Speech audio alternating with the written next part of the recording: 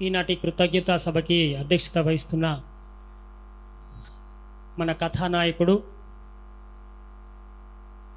మంచిర్యాల జిల్లా మీరందరూ ముద్దుగా పిలిచే టైగర్ బాల్క సుమనన్న గారు.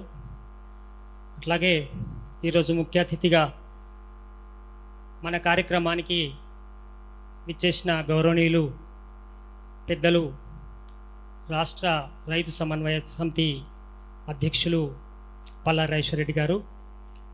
అట్లాగే గాయకుడు ఉద్యమకారుడు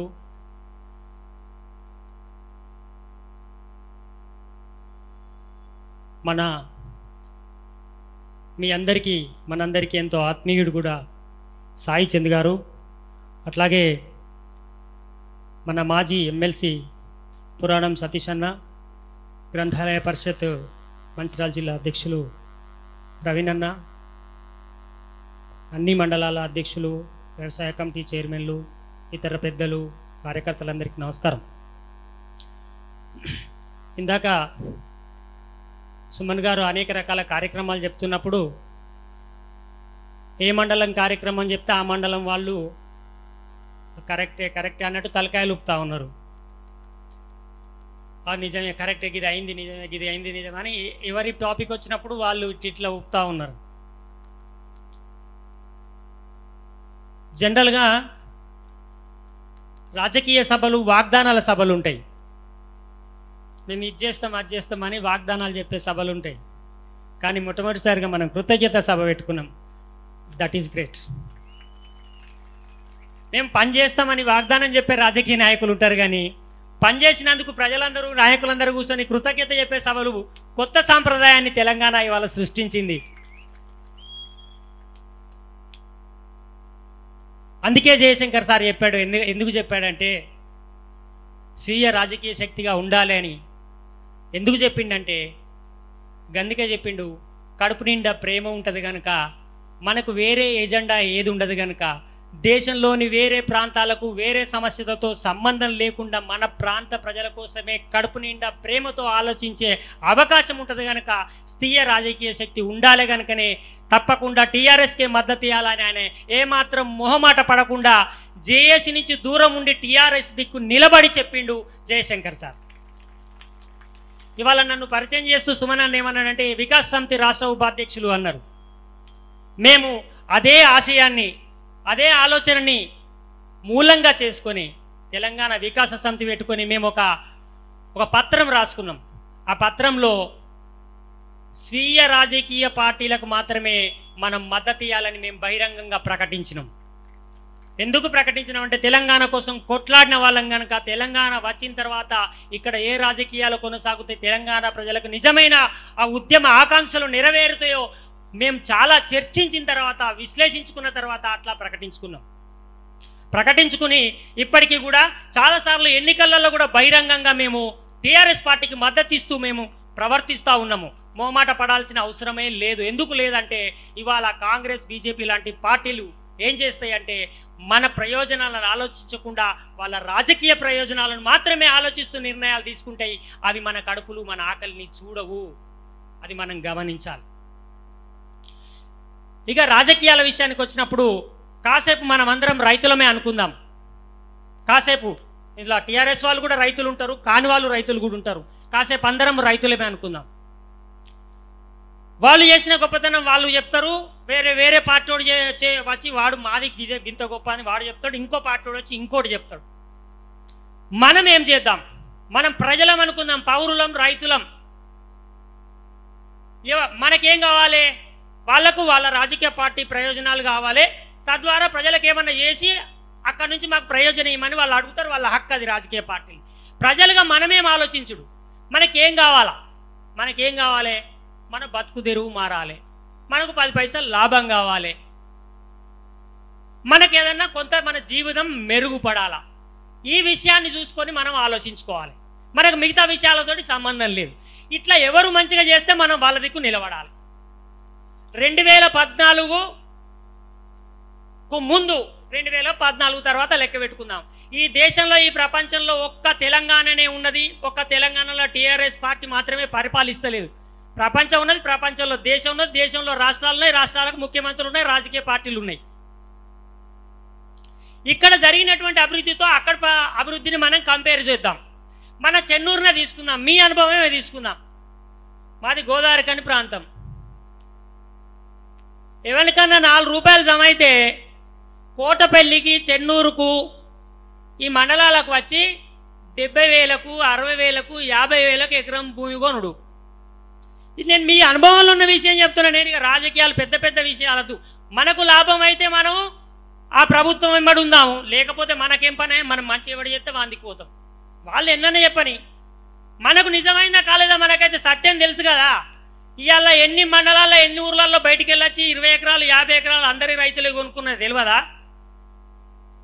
అవుబై ఇప్పుడు పది లక్షలకు ఎకరం దొరుకుతుందా? సో ఈ ఐదేళ్ళల్లా ఒక్కొక్క రైతుకు ఎన్ని లక్షల లాభం అయింది? ఏడాదికి ఎంత అయింది? నెలకి ఎంత అయింది? ఈ లాభం చేసినటువంటి పార్టీ దిక్కు మనం ఉందామా వద్దా? లెక్కేసుకుందాం మనకు రాజకీయాలతో సంబంధం లేదు. వాళ్ళు ఎన్ననే చెప్తారు? మనకేంది? మన సంగతి మనం చూసుకుందాం. మన భూమి రేటు పెరిగిందా పెరగలేదా?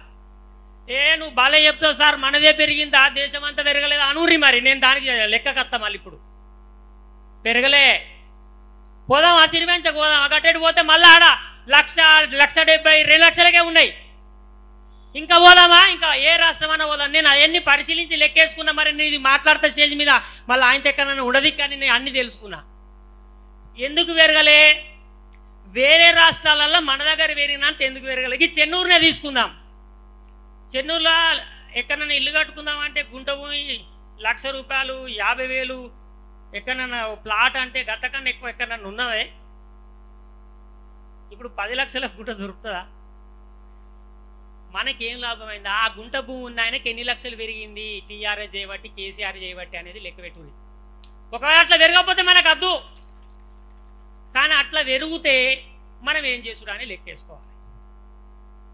ఒకవేళ పెరిగితే. ఎందుకు పెరిగింది? వేరే రాష్ట్రాలలో ఎందుకు పెరగలే? ఇప్పుడు మళ్ళా చర్చ పెడదాం. మరి అక్కడ కూడా పరిపాలించేటోళ్ళు ఉన్నారు కదా. ఈడెందుకు పెరిగింది? ఆడెందుకు పెరగలేదు? అంటే ఆ ఓ గదే చెప్పిండు జయశంకర్ సార్. ఈడ కడుపు నిండా ప్రేమ ఉన్నాడు మన కోసమే పుట్టినోడు మన కోసమే త్యాగం చేసినోడు నాయకుడు అవుతాడు కనుక ప్రజలకు లాభం చేస్తాడు అని చెప్పిండు కనుక ఇక్కడ రేటు ఉన్నది అక్కడ రేటు లేదు.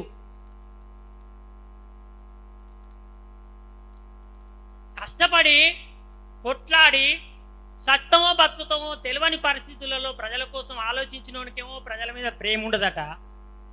ఆట చూసినట్టు పక్కకుండి వెకిలి నవ్వులు నవ్వుకుంటా వేరేటో శత్రువుకు సపోర్ట్ చేసిన నా కొడుకులంతా ఇలా రోడ్లెక్కి తెలంగాణ ప్రజల గురించి ప్రేమగా మాట్లాడితే ప్రజలు ఎట్లా నమ్ముతారో నాకైతే ఓసారి ఓసారి ఆశ్చర్యమే అవుతుంది ఇట్లా భూములు పెరిగినాయి. ధరలు పెరిగినాయి. మన భూములు మన సంపద మన ఆదాయం మన వ్యవసాయం. వ్యవసాయంలో పంట పంట వచ్చే శాతం అన్ని పెరిగినాయి. ఎదిగి పెరిగినాయి? ఎరువులు సక్రమంగా వచ్చినాయి దొంగ విత్తనాలు అమ్ముడు బంద్ అయినాయి పీడి అక్కిపెట్టి లోపల వారేసిరు కాబట్టి పెరిగినాయి. తర్వాత కొనుడు మంచి కొంటున్నారు. ప్రొక్యూర్మెంట్ ఇంతకుముందు లేదు ఇట్లా. చెప్పులు పెట్టుకొని లైన్లలో నిలబడు లేదు. కొనుడు మంచి కొంటున్నారు. కొన్న పైసలు బ్యాంకుల బరాబరి ఇంటికి చేరుతా ఉన్నాయి. నాలుగు రూపాయలు ఇవ్వాలని మన చేతిలో కనబడతా ఉన్నాయి. ఈ పరిస్థితి వేరే దగ్గర ఎందుకు లేదు అంటే వాడు ఏం చెప్తాడు? బీజేపీ వాడు ఏం చెప్తాడు? ఇంతకుముందు సుమన్ భాయ్ బీజేపీకి బండి సంజయ్ అనేట ఆయనకు చాలా ప్రశ్నలు వేసిండు. ఆయన ఏం సమాధానం చెప్తాడు? అన్నా ఇవాళ ఏం వారం అన్నా? చెప్తలేరు. అన్నా రేపేం వారం అన్నా? అన్నా ఎల్లుండి ఏం వారం అన్నా? అన్న ఆ తర్వాత ఏం వారం అన్నా? అన్న ఆ తర్వాత ఏం వారం అన్నా? అంత ఆ తర్వాత ఏం వారం అన్నా? అన్న ఆ తర్వాత ఏం వారం అన్నా అన్న నిన్నేం పండుగ అన్నా చెప్తలేరేమే ఇదే ఇక వాళ్ళు ఏం చెప్పారు నువ్వు చెప్పిన సవాల్ ఇది ఇట్లే పోతూనే ఉంటుంది ఇక. ఇక మీకు ఇంకేం కావాలి? మీకు వారాలు తెలుసు పండుగలు తెలుసు మీకు గంగా ఇంకా మీకు ఏం కావాలి మీకు? ఇవి చెప్పుర్రి ఇక ఇవి వారాలు చెప్పుర్రి ఇక బతుకుర్రి. ఇది మీకు ఇంకేందే? ఇక మీకు సోమవారం మంగళవారం తెలిసింది పండుగలు తెలిసినాయి. ఇక మీ మీ బతుకులకు ఇక గింతకన్నా ఎక్కువ కావన్నా. మీ నీళ్ళు ఎందుకు? మీకు ఉద్యోగాలు ఎందుకు? మీకు బతుకు తెరువు సాధువు గంగా గోదావరి మీకు ఎందుకే? ప్రజలు ఆడేం దేవుడు ఉన్నాడు? ఈడేం పూజ అయింది? వీడు బొట్టు పెట్టినా పెట్టలేదా? వీడు గుండు గీసుకున్నాడా? జుట్టు పెంచుకున్నాడా? వీటి గురించి ఆలోచించబడా ఏం కూర అనుకున్నాడు మటన్ అనుకున్నాడా కూరగాయలు అనుకున్నాడా దీని మీద చర్చ పెడితే కడుపు నిండుతుంది కానీ ఓ కాళేశ్వరం నీళ్ళు తెచ్చుడు భూములు పంటలు ఉద్యోగాలు ఇచ్చుడు బళ్ళు పెట్టుడు గురుకులాలు పెట్టుడు. ఇవి చెప్తే ఏమనుకన్నా? కడుపులకు వచ్చేదా? కాలుకి వచ్చేదా? మనం ఇవి చెప్పాలి. ఇవి చెప్పి ఇక మస్తు సంబరపడి ఏమనుకుంటారా నారే మన బట్టలు మొత్తం చింపుకోవాలి జెండాలు పెట్టుకోవాలి డీజే పెట్టాలి ఎగరాలి పిచ్చి పిచ్చి ఎండికలు ఉన్న గట్టాలు కింద కింద పెద్దగా వేయించాలి. మన కౌరం భీముని మాట్లాడద్దు ఎక్కడో ఉన్న శివాజీ గురించి మాట్లాడాలి. ఇదంతా మస్తు తెలివి అనుకోవాలి మళ్ళీ మనమే. దేశభక్తి కూడా అనుకోవాలి అనుకోకపోతే మళ్ళీ మీ మీద దేశద్రోహులు అంటారు సుమి ఇట్లా కూడా మీకు సాటిస్ఫై అయితే లేదా? ఇట్లా కూడా కాకపోతే బాబర్ అక్బర్ తర్వాత ముస్లిం హిందూ పాకిస్తాన్ ఇంకెక్కువ మాట్లాడితే చైనా. ఇంకెక్కువ మాట్లాడిన అనుకో బైన్సా నిజామాబాద్ కరీంనగర్. ఇ- ఇవే. ఇ- ఇక ఇవి ఆలోచించేటట్టున్నారు ఇక మనం కొద్దిగా ఎత్తే అర్థమవుతుంది కదా. ఇ- ఇగో ఇంకో ఘోరమైనటువంటి విషయం. సారు ఈ మధ్య కేసీఆర్ సార్ మీరు స్పీచ్లు ఆయన మాటలు మామూలు వినద్దు మీరు. ఆయన ఈ మధ్య కొత్తగా రెండు మూడు విషయాలు ఆయన స్పీచ్లలో చెప్తాను ఆయన ఏమంటాడంటే హుజరాబాద్ ఎలక్షన్ అని చెప్తాను. భూముల ధరలు ఎంత పెరిగినాయి? ఒక్కొక్కటి రోడ్ సైడ్ అయితే కోటి రూపాయలు కూడా దొరకలేదు అంటాడు. ఆయన ఉట్టిగానే చెప్తాడు మీకు ఇంటిస్తున్నాడు అంతకన్నా ఎక్కువ చెప్పడు నాయకుడు. ఆయన మీకు ఒక పెద్ద విషయం చెప్తాడు. ఆ విషయం మీరు అర్థం చేసుకోవాలి. అది పాయింట్ పట్టుకొని మీరు మళ్ళా మళ్ళా లెక్క వేసుకొని విశ్లేషించారు ఆయన ఎందుకు చెప్పిండో? నేను కూడా చెప్తే మంచిగా ఉండదు మీరే ఆలోచించురు భూముల ధరల గురించి చెప్తాడు ఒక పాయింట్. ఇంకొక పాయింట్ ఏం చెప్తుండో ఈ మధ్య పదే పదే బాధపడుతూ చెప్తున్నాడు. ఏమంటున్నాడంటే ఇవాళ భారతదేశంలోనే ఒక అద్భుతమైన నెంబర్ వన్ స్టేట్గా మన తెలంగాణ కష్టపడి తెచ్చుకున్నది సాధ్యమవుతున్నది దీన్ని చెడగొట్టే ముచ్చట జరుగుతున్నది. ఇక్కడ మత కల్లాలు వస్తే మనకు చాలా ఘోరమవుతుంది అని చెప్తున్నాం మనము కడుపు నిండా తిని నాలుగు రూపాయలు వచ్చినాక మన పిల్లల్ని అలా మంచిగా చదివించుకుంటాం. మన పిల్లలు ఇలా హైదరాబాద్లో ఉంటారు బెంగళూరులో ఉంటారు కొంతమంది పిల్లలు అమెరికాలో ఉంటుండ్రు. ఇప్పుడు సుమన్ బాయ్ అన్నాడు దుబాయ్లో వెళ్ళకూడదు ఏంటి పరిస్థితి? మనకే తిండికి లేదురా ఇప్పుడిప్పుడే ఎంత పచ్చబడతానమంటే వాళ్ళందరూ వచ్చి మీద పడి మళ్ళీ మనకు దరిద్రం పెరుగుడా ఇక్కడ. వీళ్ళు చేసే పనులకి. హైదరాబాద్లో మన పిల్లగాడు మంచిగుంటాడో మంచిగుంటాడో అని మనం రోజు టెన్షన్ పడుకుంటా అయ్యో ఏమైతుందో అక్కడ? అల్లల్లు అవుతుందని టీవీ చూసుకుంటా భయపడుకుంటా ఎంబడే రాత్రి రాత్రి రాత్రి లేచిపోయి పిల్లగాళ్ళని తీసుకొచ్చుకున్నాడా ఈ వాతావరణం మనకు అవసరమా? ఈ పరిస్థితులను మనం ఫేస్ చేసిన అవసరమా? అంటే అవసరం లేదనుకుంటే మనం ఇని సపరేట్గా కాలరేఖలు దగ్గర పెట్టుకొని కూసుంటే కలవది. మా భూముల ధరలు పెరిగి నాకు ఐదు లక్షల లాభం అయింది దాదాపు సంవత్సరానికి ఐదు లక్షలు అంటే నెలకు యాభై వేలు దగ్గర నలభై వేలు దాకా మంచిగానే పడ్డది. అని మనది మనం కాలరేఖలు దగ్గర పెట్టుకొని కూర్చుంటే కాదు. ఎందుకు కాదంటే మనం మంచిగా ఉంటాం ఇక్కడ మన సుమర్ భాయ్ ఆయన సర్వే చేయించుకున్నాడు ఆయన పొట్టు పొట్టుకు వెళ్తాడు ఓకే. కానీ మొత్తం గెలవకపోతే మన పిల్లలు చెన్నూరులోనే చెన్నూరు నియోజకవర్గంలోనే ఉండరు కదా. మన పిల్లలు హైదరాబాద్లో ఉంటారు మన పిల్లలు బెంగళూరులో కూడా ఉంటారు. మన పిల్లలు అమెరికాలో ఉంటారు మన పిల్లలు దుబాయ్లో ఉంటారు. ఆ పిల్లలందరూ సురక్షితంగా ఉండాలంటే ఇక్కడ అటువంటి దుర్మార్గపు రాజకీయాలు ఈ ఒక్క చెన్నూరులో కాదు ఒక తెలంగాణలో కాదు ఈ భారతదేశంలోనే చెల్లవు అంటే చెల్లవని అడిదిక్కు నిలబడి నాయకత్వం వహించి మీరు అందరూ పనిచేయాలి. నాకేం అక్కరా నేను ఇరవై సార్లు మీకు మీటింగ్లో అలాగ పడవచ్చు నాకు బాగా పైసలు ఏం లేవు నేను రాజకీయ నాయకుడు కూడా కాదు. నేనే డీజిల్ పోసుకొని పనివాడ సంవత్సరానికి ఒక లక్ష రెండు లక్షలు ఖర్చు పెట్టుకొని తిరుగుతాను. ఎందుకంటే రేపు నా పిల్లగాళ్ళు మంచిగా ఉండాలి. రేపు నాకు ఇంతంత నాలుగు గుంటల భూమి ఉంటే దాని ధర పెరిగితే నాకు పైసలు వస్తాయి. అల్ల నుంచి లక్ష రూపాయలు నేను ఈ తెలంగాణ కోసం ఈ పార్టీ కోసం ఖర్చు పెడతానని తిరుగుతాను. ఇట్లా మీరు అందరు తిరగకపోతే ఏమవుతుందంటే మనం మంచిగా ఉన్నాం పక్కడు ఓని అంటే మనకు కూడా వస్తుంది. వస్తుంది. భాగ్యలక్ష్మి టెంపుల్ కానీ ఆగలే. ఇంకొకడికి వస్తుంది ఇంకొకడికి వస్తుంది ఇంకొకడికి వస్తుంది మన పిల్లలు కూడా మాలు నోట్లో పెట్టుకొని డీజే ముంగట ఎంటికలు పెట్టుకొని ఎగిరే రోజు వస్తుంది. చాలా ప్రమాదకరమైన శక్తులు అవి. జాగ్రత్తగా ఉండాల్సినటువంటి అవసరం ఉన్నదని చెప్పుటానికి తిరుగుతాను. మీరు అందరూ చేతులు కట్టుకొని కాలు దగ్గర పెట్టుకొని ఎవరి పని వాళ్ళే చేసుకుంటా. ఏ మేమైతే అన్నదిక్కే అనుకుంటే ఉంటే కలవది. మనం చెన్నూరుకే కాదు. మొత్తం తెలంగాణకు నాయకత్వం వహించే ఒక శక్తి సుమన్ నాయకత్వంలో ఇవాళ ఇక్కడి నుంచి ఎదగాల్సినటువంటి అవసరం ఉన్నది. ఆ అందులో మీరు అందరూ కూడా ఒక క్రియాశీలకంగా రేపు పనిచేయాల్సినటువంటి అవసరం ఉన్నది.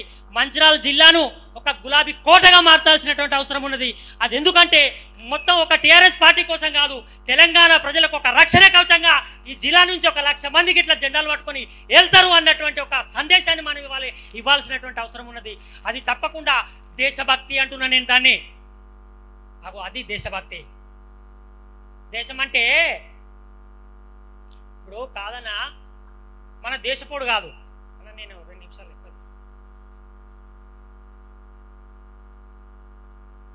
ముస్లిమోడు ఫస్ట్ మన దేశపోడు కాదు. వాడికి మన మీద ఎందుకు ప్రేమ ఉంటుంది? వాడు వచ్చి మన గుళ్ళను మొలగొట్టి వాడు మసీదు కట్టిండు అనుకుందాం. ఎందుకు కట్టిండు అంటే వాడు మన దేశపోడు కాదు వాడే కూడా మనం కూడా కట్టిండు. ఓకే కదా? కట్టినాక వాడు ఈయనే ఉన్నాడు వాడు మన దేశపోడైంది మనకు స్వాతంత్రం వచ్చింది. అది రాజుల కాలం అడవి కాలం బలం ఉంది రాజ్యం అయింది. ఇప్పుడేంది? రాజ్యాంగము ప్రభుత్వం ఉన్న టైం. అప్పుడు వాడు రాజుల కాలంలో మన మీద ప్రేమ లేడు వాడు బలం ఉన్నది రాజ్యం నడుస్తున్న టైంలో కడితేనేమో వాంది తప్పంటివి మనం. అగో మన గుళ్ళను కూలగొట్టి మసీదు కొట్టిన తప్పంటివి. ఓకే అది తప్పే వాంది బరాబరే మనం అనేది అక్కడికి ఓకే. మరి మనం కూడా అదే మాట మీద ఉండాలి కదనే. ఇలా మనకు బలం ఉంటే ఏం చేస్తాను? మనం మసీదు మీద పోయి జెండా ఎగిరేయచ్చునా? ఒకవేళ ఎగిరేయచ్చు అంటే మరి చెప్పురి వాడు చేసింది రైట్ అనాలి మరి. వాడు చేసింది రైట్ అయితే మనం చేసేది రైట్. లేదు వాడు చేసింది తప్పు అయితే మరి ఆ తప్పును మనం ఎట్లా చేస్తాం వివేకానంద మహాత్ముడు చెప్పినటువంటి హిందూ మతం కదా. అమెరికాకు పోయి మా హిందూ మతం ఎంత గొప్పదంటే ప్రపంచ మానవులంతా మా సోదరులని చెప్పే ఒక గొప్ప మతం అని చెప్పినటువంటి వివేకానందుడు ఎంబడి యాభై మంది నీ ఎంబడి అత్తము మీకు ఇంత గొప్ప మతం అని ఆ నుంచి ముళ్ళెంబడి చదువుకొని పెళ్ళిన పొరగాలను ఇడిచిపెట్టి ఇండియాకు వచ్చి ఇక్కడ సన్యాసులై తిరిగిరు గది హిందూ మతం. అంత గొప్ప మతాన్ని ఫలితన చేసి ఇంత తక్కువ చేసి ఇంత ఘోరంగా ఆలోచించటంలో మనం అంటే మనం అటువంటి రాజకీయాలను దానికి కూడా ఎవడన్నా తెలిసి తెలియక ఓట్లేస్తే ఏమవుతుందంటే ఇది ఇట్లనే కావచ్చు అని ఇంకోటి మొదలు పెడతారు అట్నే. దాన్ని అస్సలు ఎట్టి పరిస్థితుల్లో ఎంకరేజ్ చేయొద్దు. చెలో ఇంతకుముందు ఛాలెంజ్ చేసింది కదా. ఏం చేస్తావు తెలంగాణ కోసం? ఏం చేస్తావు హైదరాబాద్ కోసం? ఎంత బడ్జెట్ తీసుకొస్తావు? మేము రెండు పెడతాం. నువ్వు ఒక్కటి పెడతావా చెప్పు మూడు పెట్ట శాత కాకపోతే ఒక్కటి పెడతావా చెప్పు? ఒక్కటి సమాధానం ఉంటలేదు మీరు చూడండి. ఈ ప్రశ్నలకు సమాధానం ఉండదు. ఏముంటుందంటే అన్నా!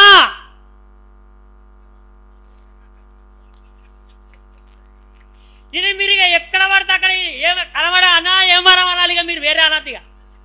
ఇటు నుంచి ఎడగనబట్ట అన్నా ఏం వారం అనుకుంటా పోవాలి. అది చెప్పినావు కాదు మళ్ళీ అడిగి అదే అడుగుతూ ఉండాలి. సబ్జెక్టు లేని దద్దమ్మలు విషయం చెప్పడానికి లేక ఏందే ఇది? ఉద్యమం చేసి పెద్ద పెద్దలను గోడగొట్టి క్రూరాతి క్రూ మన కేసీఆర్ సార్ ఒక స్పీచ్లో చెప్పిండు. రామబాణానికి చచ్చిపోయిన ఆడోడు రాక్షసులు మిగిలి పుట్టిర్రు. వాళ్ళు కూడా కొంతమంది చచ్చి ఆడోడు మిగిలినారు. వాళ్ళందరినీ చంపిన వాడు అప్పుడు తెలంగాణ ఉద్యమంలో కానీ కొంతమంది మళ్ళీ మిగిలి తయారైన మన గండానికి వీళ్ళని చూస్తే సిగ్గైదాన్ని ఫస్ట్.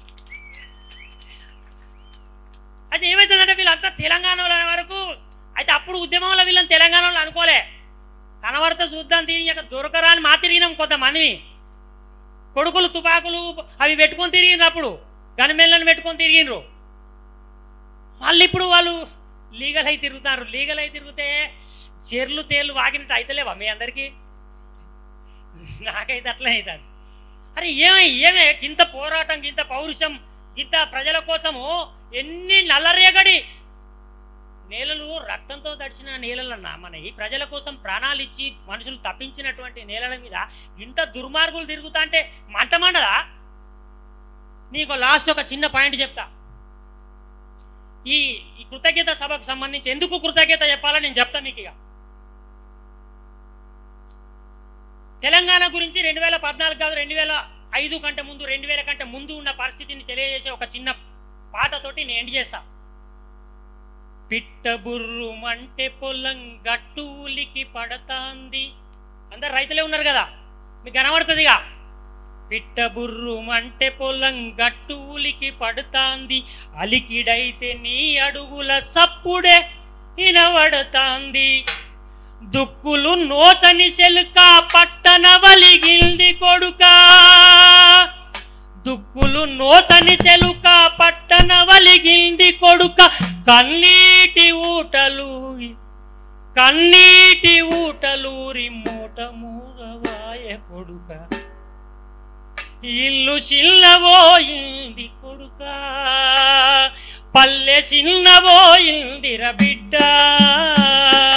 నువ్వు గట్టిన నాగటెట్లు నువ్వెంచిన దూరగొడు గట్టిన నాగటెట్లు నువ్వెంచిన దూరగొట్టు గలువల్ల కళ్ళు పెట్టి నీ కోసమే చూడంగా. ఇల్లు చిన్నబోయింది కొడుక. పల్లె చిన్నబోయిందిర బిడ్డ.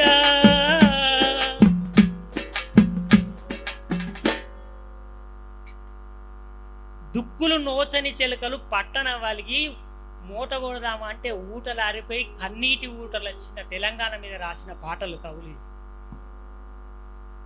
ఇలా నది జలాలకు జలాలు మొత్తం భూములకు భూములను ఇట్లా పారి తడుపుతున్నటువంటి సందర్భం. ఎవరు దిక్కుండాలి? ఎవరికి కృతజ్ఞత చెప్పాలి?